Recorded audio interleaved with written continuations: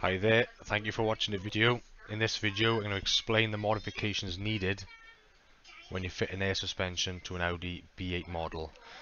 Depending which setup you buy, different routes that you're going to do, so I'm going to talk you through it on this particular setup. Hope you enjoy the video, thank you. Right in this first picture you can see that I've got the system laid out on an MDF board got the tank, the module, the pump and the relay. And what I did was I had the system running here first before I connected the pipes to the airbags themselves. So I made sure that there was no leaks in the tank and it was holding pressure. Once I was happy with this then I can move on to the next stage. So we're at the rear of the vehicle now and this is where the rear coil spring would sit. I've cut away the notch on the rubber where the spring would sit against, allowing my airbag to sit on top of it and locate inside it so it won't move around.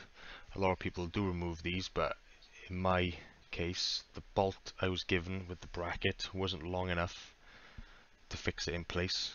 So I've used this so the airbag itself can't move around.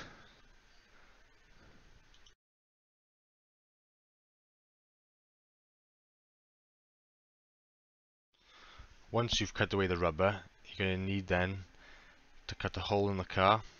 Not a very big hole but a little doorway I call it just so you're able to feed the air line directly on top of the airbag itself. You'll see there's a circle hole. There is a grommet there. You take it out feed the pipe through the grommet and then feed it directly on top of the airbag itself as you can see in the picture. And then once you've done that you can seal the hole back up. What I did was I left it open for a while until I had the car finished. I run the system up, make sure there's no leaks, then I sealed the hole up then. Moving on to the front now. As you can see in this picture, we have a airbag strut and the standard strut next to each other. The new one is fitted with a pillow ball mount as the Audi came with a top rubber mount which is fixed. So you're going to take the standard strut apart and then on the aluminium bracket you're going to see a collar in the center of it. You need to remove that.